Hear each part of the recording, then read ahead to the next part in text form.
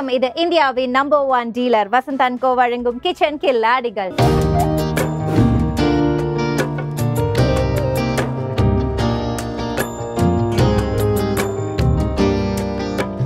Please take you place hello வணக்கம். பேர் சொல்லுங்க. என் பேர் வந்து சுபாஷினி ஜோசப். ஓகே என்ன பண்ணிட்டு இருக்கீங்க? ஹோம் மேக்கரா இல்ல? நான் ஹோம் மேக்கர் ப்ளஸ் குக்கிங்கில் எனக்கு ரொம்ப இன்ட்ரெஸ்டடு அதனால ஸ்டேட் ஃபர்ஸ்ட் அவார்டு எல்லாம் வாங்கியிருக்கிறேன். Okay Damu sir. எதுல வாங்கியிருக்கீங்க? தாமு சார் கையில் டே அவர் டேஸ்ட் அவர் ஸ்டேட்ன்ற ஒரு கான்செப்டில் நான் வந்து ரன்னர் அப்போ எல்லாமே வந்திருக்கிறேன். ஒரு லெவன் டிஷ்ஷு செஞ்சு ஒரு தௌசண்ட் பேரில் நான் வின் பண்ணி வந்திருக்கிறேன். ஓகே. இல்லாத கிளாஸ் எடுக்கிறேன். கொஞ்சம் குக்கிங். கிளாஸ் எல்லாம். ஓகே. அதனால குக்கிங் வந்து எனக்கு வந்து ரொம்ப இன்ட்ரெஸ்டட் குக்கிங் ஃபார் லைஃப் அப்படிங்கிறது மாதிரி குக்கிங் இஸ் லைஃப்ங்கிற மாதிரி ஆயிருச்சு. எஸ் ஓகே ஃபைன் இவ்வளோ நம்ம சொல்லிட்டோம். அண்ட் இன்னைக்கு உங்களோட ஒரு பெஸ்ட் ரெசிபி தான் எடுத்துட்டு வந்திருப்பீங்க. அப்படி என்ன குக் பண்ணலாம்னு முடிவு பண்ணிருக்கீங்க?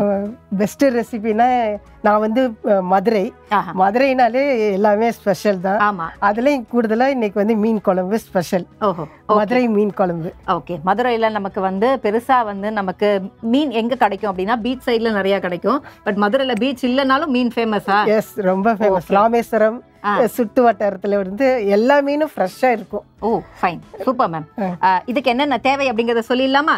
சொல்லி சொல்லலாம்? கடுகு மஞ்சத்தூள் தாளிப்பு வடகம் கருவேப்பிலை பெருஞ்சீரகம் சீரகம் வெந்தயம் இஞ்சி பூண்டு பேஸ்ட்டு குழம்புத்தூள் தேங்காய் பால் மீன் புளி நல்லெண்ணெய் தனியாத்தூள் கொத்தமல்லி பூண்டு நறுக்குன வெங்காயம் நறுக்குன தக்காளி தனி மிளகாத்தூள் உப்பு பச்சை மிளகாய். ஸோ தேவையான பொருட்கள் பார்த்ததுக்கு அப்புறம் மதுரை மீன் குழம்பு அண்ட் மதுரைக்கு வந்து பேர் போன ஒரு விஷயம்னு சொல்லியிருக்காங்க. அண்ட் கண்டிப்பாக அதை டேஸ்ட் பண்ணுறதுக்கு நமக்கு என்ன கசக்குமா? ஸோ அதுக்கு நம்ம முதல்ல குக் பண்ணணும். ஃபர்ஸ்ட் என்ன பண்ண போகிறோம் அப்படிங்கிறத பார்க்கறதுக்கு முன்னாடி மீன் நம்ம என்ன மீன் எடுத்திருக்கோம் மேம் நம்ம வந்து இன்னைக்கு வந்து வாவல் மீன் எடுத்திருக்கோம். அஹ், வாவல் மீன். உங்கள் வீட்டில் எது வேணாலும் யூஸ் பண்ணலாம். இந்த மதுரைனாலே தேங்காய் வந்து ரொம்ப மோஸ்ட்லி யூஸ் பண்ணுவாங்க. அதனால இது வந்து நல்ல பெஸ்ட்டாக இருக்கும். உங்களுக்கு சாப்பிட்டு சமைச்சு சாப்பிட்டு சூப்பர் ஓகே இப்போ ஃபர்ஸ்ட் என்ன பண்ண போகிறோம் ஃபர்ஸ்ட் நம்ம கடாய் கடை எடுத்து இல்லாமா? ஓகே ஃபர்ஸ்ட் நம்ம கடாயில் நல்லெண்ணெய் ஊற்றிக்கலாம். மீன் குழம்புனாலே நல்லெண்ணெய் தான் டேஸ்ட்டாக இருக்கும். ஓகே நல்லெண்ணெய் ஊற்றிக்கலாம் ஃபர்ஸ்ட்டு நல்லெண்ணெய் கொஞ்சம் தாராளமாக ஊற்றிக்கலாம் மீன் குழம்புக்கு. ஏன்னா மேம் மீன் குழம்பு பொறுத்த வரைக்கும் இந்த கேள்வி எல்லாருமே கேட்பாங்க. முதல் நாள் செய்யறதை விட மறுநாள் நமக்கு நல்லா இருக்கும்னு இந்த மீன் குழம்பு மீன் குழம்பும் அப்படிதான். மறுநாள் இட்லி தோசை எதுக்குனாலும் சூட் ஆகும். ஓகே. சாப்பிட்டு பாருங்க நல்லா இருக்கும். ஃபைன் எதுக்கு நான் இதை கேட்டேன்னா கொஞ்சம் எண்ணெய் ஜாஸ்தியா ஊத்தும் போது மறுநாள் பாத்தீங்கன்னா அது இன்னும் மேரினேட் ஆகி ரொம்ப சூப்பரா இருக்கும். ஸோ அது குழம்புல நல்லா மீன் ஊற ஊற நல்ல டேஸ்ட் கரெக்ட் கூடுதலா கிடைக்கும். ஓகே இப்போ எண்ணெய் காஞ்சிருச்சு. ஃபர்ஸ்ட் நம்ம கடுகு போட்டுக்கலாம். ஓகே ஓகே கொஞ்சம் வெயிட் பண்ணலாம். கடுகு பொரியணும் கடுகு வெடிக்கும் ஓகே இப்போ கொஞ்சம் வெந்தயம் போட்டுக்கலாம். ரொம்ப போட்டால் கசப்பாயிரும். ஓகே ஆ, கொஞ்சமா போட்டு. சூப்பர் ஆ. இப்பதான் மேம் எதிர்பார்த்த அந்த ஸ்பேட்டர் ஆகிற சவுண்டை கேட்டாதான் எங்களுக்கு பூஸ்ட் வரும் அப்படிங்கிற மாதிரி. இப்போதான் தாளிப்பு கொண்ட இது கரெக்டாக இருக்கு. கரெக்ட் தாளிப்பு வடகம் இதில் வந்து எல்லாமே சேர்ந்துருக்கும். இது வந்து மீன் குழம்புக்கு காரக்குழம்புக்கு எதுக்கு போட்டாலும் சுவையாக இருக்கும். ஓகே நம்ம அதுக்கு போடுறோம். கொஞ்சம் சோம்பு கொஞ்சம் போட்டுக்கலாம். ஓகே ஒரு மூணு பச்சை மிளகாய் கட் பண்ணிக்கோங்க. எண்ணெயிலே போட்டிங்கன்னா அந்த பச்சை மிளகாய் காரம் ரொம்ப தெரியாது. ஓ. ரெண்டாவது டேஸ்ட் எடுத்து கொடுக்கும். ஓஹோ. ஃபைன் ம்.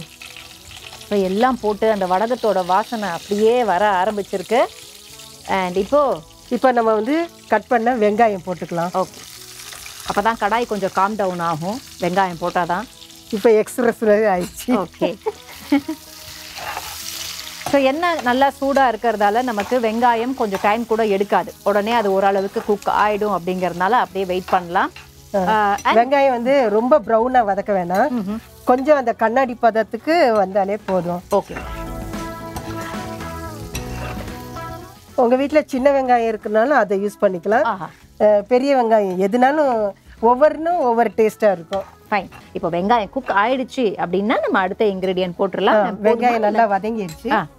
இப்போ வந்து நம்ம பூண்டு போட்டுக்கலாம். ஓகே முழு பூண்டு. முழு பூண்டு. சூப்பர் அதுவும் கொஞ்சம் நல்லா எண்ணெயில வதக்கி விட்டுக்கலாம்.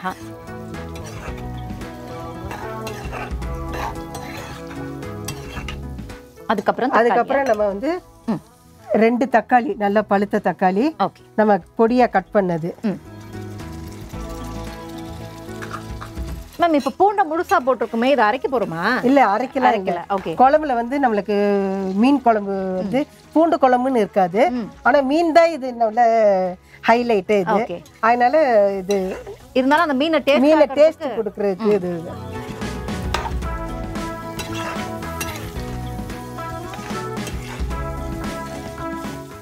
தக்காளி நல்லா வதங்கட்டும். ஓகே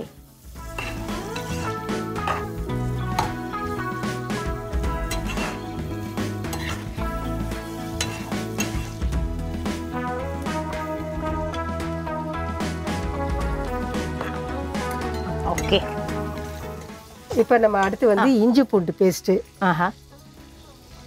எண்ணெயிலேயே போட்டு வதக்கிடலாம். ஒரு ஸ்பூன் ஹா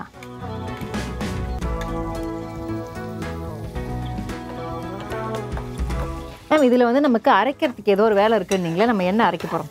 தேங்காவை மட்டும்தான் அரை மூடி தேங்காய் வந்து. நல்லா அரைச்சிட்டு அதை வந்து தேங்காய் பால் வடிகட்டிடணும். ஆமா வால் பாலை எடுத்து வச்சு பாலே எடுத்து நம்ம வச்சிருக்கோம் அதனால அரைக்கிற அதனால அரைக்க வேண்டியது எதுவுமே கிடையாது. அரைச்சு வதங்குற டைமும் இந்த நம்ம எல்லாமே ரெடி பண்ணி வச்சிட்டோம்னா சீக்கிரம் ரெடி ஆயிடும் ஃபைன் அண்ட் தேங்காய் பாலும் பார்த்தீங்க அப்படின்னா நம்ம யோசிச்சு பாருங்களேன் தக்காளியும் ஆட் பண்றோம் கொஞ்சம் புளியும் எடுத்து வச்சிருக்கோம் தேங்காய் பால்.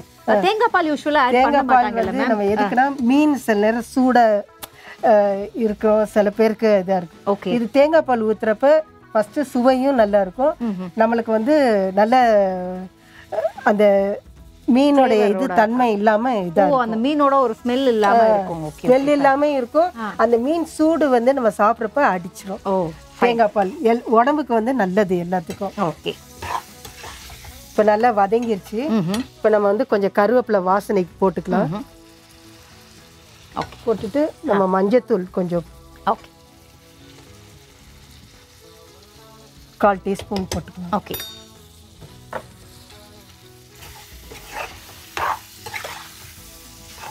மஞ்சத்தூள் போட்டோன்னா நமக்கு இப்பதான் கலர் வரும். நல்லா டெலிஷியஸ் கலரா வரும். ஆமா மேம் அடுத்து நம்ம தனி மிளகாத்தூள். ம். அது காரம் ஒவ்வொருத்தருக்கு பார்த்து ஆனா மீன் குழம்புனா கொஞ்சம் காரம் நல்லா இருந்தாதான் அது ஊற ஊற கரெக்டா இருக்கும். ஓகே. ரெண்டு ஸ்பூன் போடுறோம்.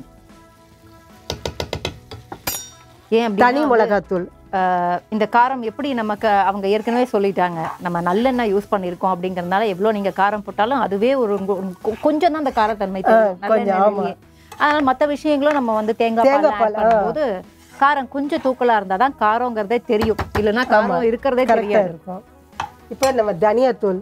ரெண்டு ஸ்பூன் மிளகாத்தூளுக்கு நான் ஒரு ஸ்பூன் தனியாத்தூள் போடுறேன். ஃபைன் மேம் ஏன்னா ஒவ்வொரு ஊருக்கும் சில அவங்க தனி தனியாத்தூள் கொஞ்சம். நிறைய போடுவாங்க. மிளகாத்தூள் கம்மியா போடுவாங்க.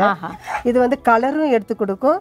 நம்மளுக்கு வந்து கரெக்டா அந்த பதத்துக்கு இருக்கும். ஓகே. இப்போ தனியாத்தூள் போட்டோம். மேம் சொன்ன மாதிரி பாருங்க அந்த பூண்டை வந்து அப்படி முழுசு முழுசா போடும்போது நல்லா தெரியும்னு நினைக்கிறேன். தெரியறது மட்டும் இல்ல டேஸ்ட்டும் கூட. நம்ம கொஞ்சமா குழம்பு தூள் கொஞ்சம் போட்டிருக்கோம். ஓகே. லைட்டா தான் போடுறோம். ஒரே ஒரு ஸ்பூன். இதுல. குழம்பு மிளகாத்தூள் குழம்பு மிளகாத்தூள்.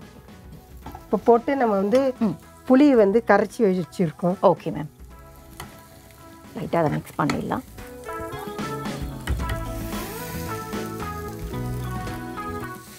நல்ல அந்த புளி விழுது இல்லாம கரெக்டா தண்ணி ஊற்றி இது பண்ணிக்கலாம். ஓகே இதுக்கு இடையில கொஞ்சம் கிண்டி விட்டுக்கலாம்.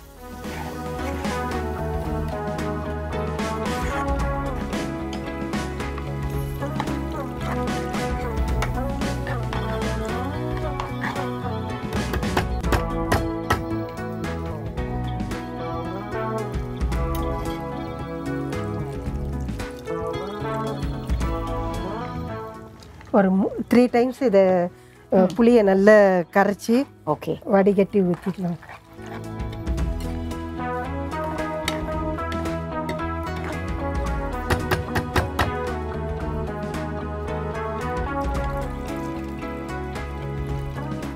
இது வந்து ஒன்று கூடி வந்திருக்கு. இப்போ நம்ம உப்பு போடவே இல்லை. ஓகே. உப்பு போட்டுக்கலாம். உப்பு வந்து கல் உப்பு இல்லை தூள் உப்பு உங்கள் இஷ்டம் தான் ம். உப்பு கரெக்டாக பார்த்து போடுங்க. ஏன்னா மீன் ஊற ஊற உப்பு சிலது லாஸ்ட்டாக நம்மளுக்கு கூட்டி கொடுக்கும். அதனால கரெக்டாக அளவாக போட்டிங்கன்னா உங்களுக்கு சுவை நல்லா இருக்கும். ஓகே.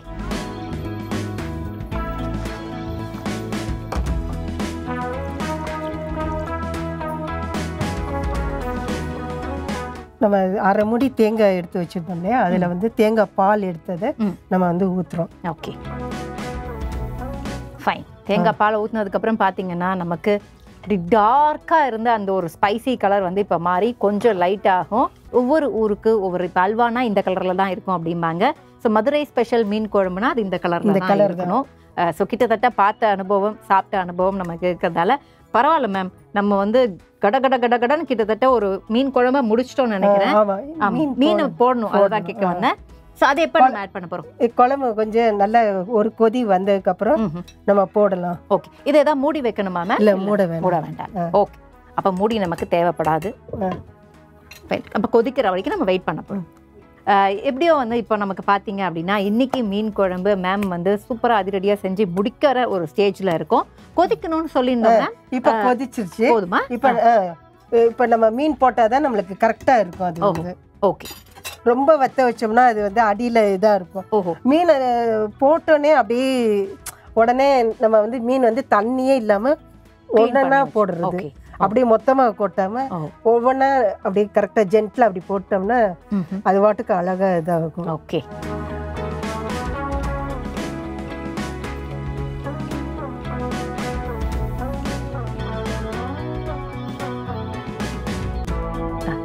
இப்போ வந்து மீனை வந்து க ஃபஸ்ட்டு கரண்டியில் இது பண்ணாமல் இப்படி நல்லா மிக்ஸ் பண்ணணும்.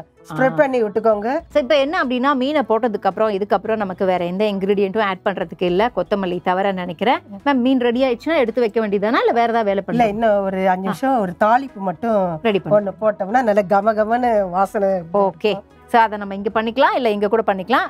பேன் ஓகேங்களா பேன் ஓகே ஓகே நிறைய பேர் புளி ஊத்துனா தேங்காய் பால் ஊத்துனா தெரிஞ்சிரும். ரொம்ப குழம்பு ஆனா. இது. பாருங்க. நான் உங்க கண்ணு முன்னாடி தான் இது பண்ணியிருக்கேன் திரையில. குழம்பு அழகா இதா இருக்கு. செக். பண்ணிக்கோங்க. ஆமா தேங்காய் பால்ல அந்த ஒரு பிரச்சனை இருக்கு. அதனால கரெக்டா இது பண்ணிட்டோம்னா ஒண்ணு Fine. நம்பி செய்யலாம். நம்பி செய்யலாம். ஆமா. அண்ட் பாத்தீங்கன்னா அவங்க சொல்ற மாதிரி நம்ம வந்து அந்த டெமான்ஸ்ட்ரேட்டே பண்ணி காமிச்சிருக்கோம். பாத்தீங்கன்னா உங்களுக்கு தெரியும். மேம் இப்போ இது ஹீட் ஆனதுக்கு அப்புறம் இதுல என்ன பண்ண போறோம்? கொஞ்சம் நல்லெண்ணெய் ஊத்துறோம். ஓகே லாஸ்ட் ஃபைனல் டச்சுக்காக ஓகே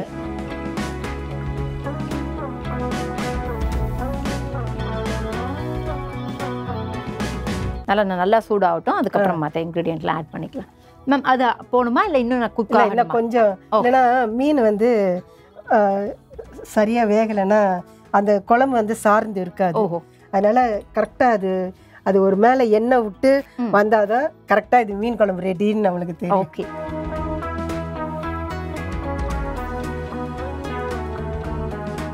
ம் கொஞ்சம் சூடாக இருக்கு மேம் இப்போ வந்து நம்ம வந்து ஃபைனல் டச்சை தாளிப்புக்கு வந்து இந்த பச்சை மிளகாய் ஓகே. கொஞ்சம் அந்த தாளிப்பு வடகம் போட்டு கொஞ்சம் கருவேப்பிலை போட்டு ஓகே.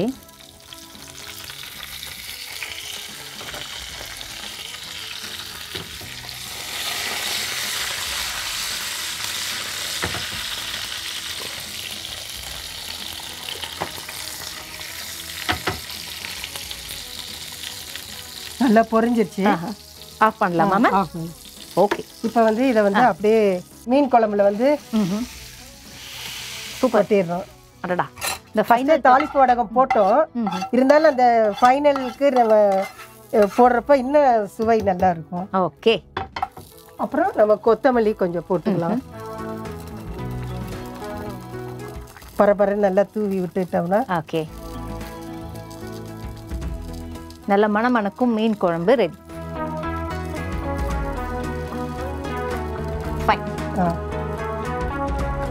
ஸோ இப்போ ரெடி ஆயாச்சு அப்படின்னா மேம் ஒரு அஞ்சு நிமிஷம். ஒரு அஞ்சு நிமிஷம் அப்படின்னு சொல்லிட்டு இருந்தாங்க அந்த அஞ்சு நிமிஷத்துல ரெடி ஆயிடுச்சா அப்படிங்க நம்ம கேட்க போறோம். மேம் இந்த எண்ணெய் பிரிஞ்சு வர்றது நல்லா ஆமா தெரியுது இதுதான் சரியான பக்குவம்.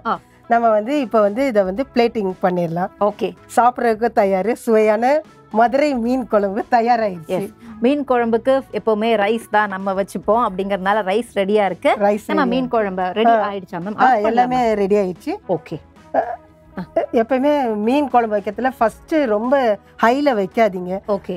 அந்த குழம்புடைய சார் வந்து வத்திரும். ஓகே. அப்போ மீன் வந்து உலண்டுரும் அதனால நீங்க போட்டோன்னே அதை வந்து சிம்ல ஒரு நிதானமா வச்சிட்டிங்கன்னா. இந்த மாதிரி எண்ணெய் பிரிஞ்சு நம்ம மீன் மதுரை மீன் குழம்பு டக்கரா இருக்கும். சூப்பர். மேம் இப்போ ஃபர்ஸ்ட் நம்ம சிம்ல இருக்கு. ஆஃப் பண்ணிடலாம். ஆஃப் பண்ணிடலாம் எல்லாமே. முடிஞ்சிருச்சு. அண்ட் பிளேட்டிங் பண்றதுக்கு உங்க கப் அங்க இருக்கு. நம்ம எடுத்து வச்சிடலாம் மேம். நம்ம இப்போ மதுரை மீன் குழம்பு வந்து.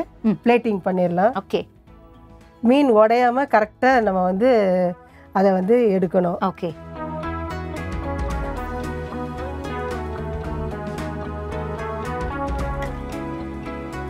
அந்த தேங்காய் பால் நம்ம போட்ட நல்லெண்ணெய் பூண்டு எல்லாமே நம்மளுக்கு வந்து ஹெல்த்தியான இதுதான். ஓகே நல்லெண்ணெயும் ஹெல்த்தியான இதுதான் பச்சை மிளகாய் அத்தனை போட்டாங்கன்னு நினைக்க வேணாம். காரம் இருக்காது. கரெக்டாக இருக்கும். நீங்கள் செஞ்சு பார்த்துட்டு சொல்லுங்கள் அதாவது என்னன்னா இந்த சூடு கொஞ்சம் போக போக அந்த எண்ணெய் கொஞ்சம் கொஞ்சமா அந்த கிரேவியோட மிக்ஸ் ஆகி ஆமாம் அது ஒரு வேற ஃபீல் தரும். அதனால மேம் வந்து நம்ம. மதுரை மீன் குழம்பு தயார். ஓகே சூப்பர் ஸோ மதுரை மீன் குழம்பை பொறுத்த வரைக்கும் பார்த்தீங்கன்னா எப்போ நம்ம ரெசிபி கையில் கிடச்சிருச்சோ உடனே நாங்கள் என்ன பண்ணுவோம் அப்படின்னா ரெசிபிக்கான ரீகேப்பை போயிடுவோம். ஏன்னா நீங்கள் அதுக்காக தானே வெயிட் பண்ணிட்டு இருப்பீங்க ஏதாவது மிஸ் பண்ணியிருப்பீங்க நோட் பண்ணோம்ல. ஸோ ஃபர்ஸ்ட் ரீகேப் பண்ணலாம் இந்த மீன் குழம்புக்கு முதல்ல என்ன பண்ணோம் அப்படின்னா நல்லெண்ணெய் ஊற்றணும் நல்லெண்ணெய் நல்லா காஞ்சதுக்கு அப்புறம் கடுகு வெந்தயம் பெருஞ்சீரகம் ஜீரகம் பச்சை மிளகா இதெல்லாம் போட்டு கொஞ்ச நேரம் நம்ம குக் பண்ணோம். குக் பண்ணதுக்கப்புறம் நம்ம என்ன பண்ணோம் அப்படின்னு பார்த்தீங்கன்னா சாப் பண்ணி வச்சுருந்த வெங்காயம் இருந்தது. வெங்காயத்தை போட்டோம். வெங்காயம் கொஞ்சம் அந்த கண்ணாடி பதத்துக்கு வந்ததுக்கப்புறம் நம்ம பூண்டு முழுசாக பல்லா எடுத்து வச்சுருந்தோம். பூண்டை ஆட் பண்ணோம். அதுக்கப்புறம் நல்லா பழுத்த தக்காளின்னு மேம் சொன்னதால் ஒரு ரெண்டு தக்காளி நல்லா சாப் பண்ணது ஆட் பண்ணோம். இதெல்லாம் நல்லா கொஞ்சம் குக் ஆனதுக்கப்புறம் நமக்கு ட்ரை ப்ரௌடர்ஸ் இருந்துச்சு. ஸோ என்னென்ன அப்படின்னு பார்த்தீங்கன்னா முதல்ல வரமிளகாய் தூள் தேவையான அளவுக்கு ஆட் பண்ணோம். அதுக்கப்புறம் மல்லித்தூள் ஆட் பண்ணோம். குழம்பு மிளகாய் தூள் அதுக்கப்புறம் மஞ்சள் தூள். இது எல்லாத்தையுமே ஆட் பண்ணிவிட்டு கொஞ்சம் நல்லா குக் ஆனதுக்கப்புறம் நமக்கு உப்பு நம்ம அப்போ ஆட் பண்ணல. ஃபைனலாக தான் ஆட் பண்ணோம். ஸோ அதுக்கப்புறம் நம்ம புளியை கரைச்சி வச்சுருந்தோம். ஸோ கரைச்சி வச்சுருந்த புளியை வந்து ஆட் பண்ணிவிட்டு அந்த புளிக்கு தேவையான வாட்டரும் போட்டுட்டு அதுக்கப்புறம் புளி கொஞ்சம் நமக்கு குக் ஆகி அந்த புளி வா பச்சை புளி வாசனை போனதுக்கப்புறம் நம்ம தேங்காய் பால் எடுத்து வச்சுருந்தோம். அந்த தேங்காய் பாலை ஆட் பண்ணோம். தேங்காய் பாலையும் ஆட் பண்ணதுக்கப்புறம் நம்ம வந்து தேவையான அளவுக்கு உப்பையும் போட்டு அந்த தேங்காய் பால் அதுக்கப்புறம் புளி மற்ற இன்க்ரீடியன்ஸ் எல்லாம் நல்லா ஒரு கெட்டித்தன்மைக்கு வர அளவுக்கு குக் பண்ணோம். குக் பண்ணதுக்கப்புறம் ஃபைனலாக பார்த்தீங்க அப்படின்னா நம்ம மீனை ரொம்ப அழகாக கட் பண்ணி வச்சுருந்தோம். அந்த கட் பண்ணி வச்சுருந்த மீனை ஒன்றொன்னா அந்த குழம்புல ப்ளேஸ் பண்ணிவிட்டு அதுக்கப்புறம் கொஞ்சம் அதை அழகாக எப்படி மிக்ஸ் பண்ணாங்க அப்படிங்கிறத பார்த்தீங்க மிக்ஸ் பண்ணதுக்கப்புறம் இந்த பக்கம் என்னென்னா இது ரெடியாக ஆகிறதுக்குள்ளே நமக்கு ஃபைனல் தாளிப்பு இருந்துச்சு. ஸோ ஒரு பேனை வச்சோம். மறுபடியும் வந்து நம்ம நல்லெண்ணெயை தேவையான அளவுக்கு விட்டுக்கிட்டோம். அதில் வந்து ஒன் பை ஒன்னாக வடகம் அதுக்கப்புறம் கருவேப்பிலை பச்சை மிளகா இது எல்லாத்தையும் ஆட் பண்ணிவிட்டு அதை அப்படியே வந்து எடுத்து இந்த குழம்புல ஆட் பண்ணிட்டோம். அண்ட் ஃபைனல் டச்சாக பார்த்தீங்க அப்படின்னா நமக்கு கொத்தமல்லி இருந்துச்சு. கொத்தமல்லியும் கார்னிஷ் பண்ணிவிட்டு அதுக்கப்புறம் பிளேட் பண்ணிங்க அப்படின்னா இதுதான் மதுரை மீன் குழம்போட செய்முறை விளக்கம்.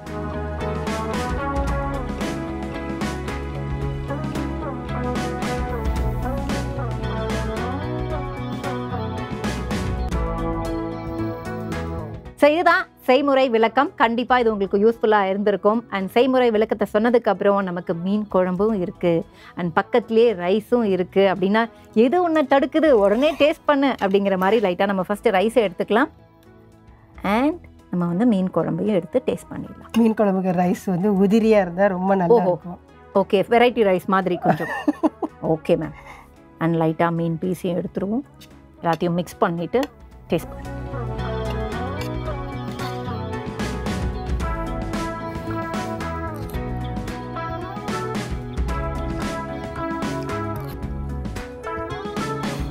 பேச வார்த்தையே இல்லையோட நல்லா இருக்கு மேம்.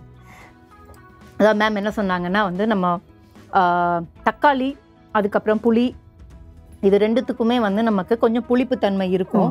ஸோ அதுக்காக கொஞ்சம் காரம் அதிகமாக சேர்த்துக்கணும் அண்ட் அந்த காரம் கொஞ்சம் நமக்கு வாயில அந்த காரம் தெரிஞ்ச உடனே நமக்கு அந்த ஒரு ரொம்ப இவ்வளோ காரமாக இருக்கேன்னு ஃபீல் பண்ணாத இருக்கிற அளவுக்கு வந்து தேங்காய் பால்.